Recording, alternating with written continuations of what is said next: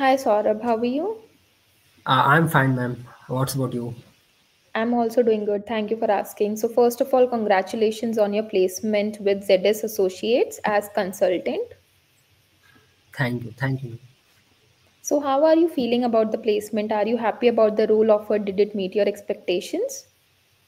Yeah, I'm happy about the role, which is uh, de- uh, decision analyst associate in ZS associate. So yeah, it's uh, meet my expectations. Okay, okay, great. So, how would you describe your experience during the interview process? So basically, the interview process uh, included two rounds of interview. The first one is you can say case study type of in, uh, interview where uh, interviewer will ask some uh, cases and you have to explain your approach, like how did you approach to the uh, given problem. And after that, you Mhm. will go towards the HR. So uh, HR may also be uh, some type of technical, uh, some you can say uh, technical type of interview. Like they will ask uh, about your project which you uh, included in your resume, and also some basic HR questions like like you can say why ZS and why consulting and all. Okay, okay. So, how well did our pre placement support, like mock interviews, resume reviews, etc., prepare you for this job?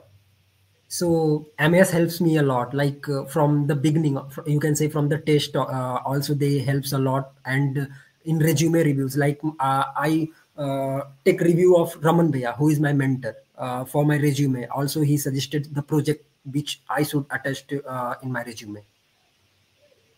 Okay, okay. So, looking back, is there anything you wish you had focused on more during college that would help in your current role? Uh, you can say uh, I should have to work on my communication skills some more so that I can uh, better fit for the role. Yeah, that's only. Okay, okay, understood. So, what tips would you give to someone aiming to get selected for this role?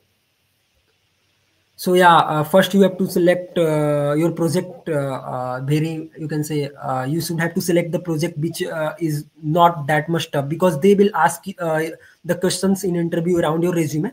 So you have to uh, select your uh, project. You can say properly. And the second point is uh, you should have to do uh, case studies and which uh, which you can say I, I did my case study from.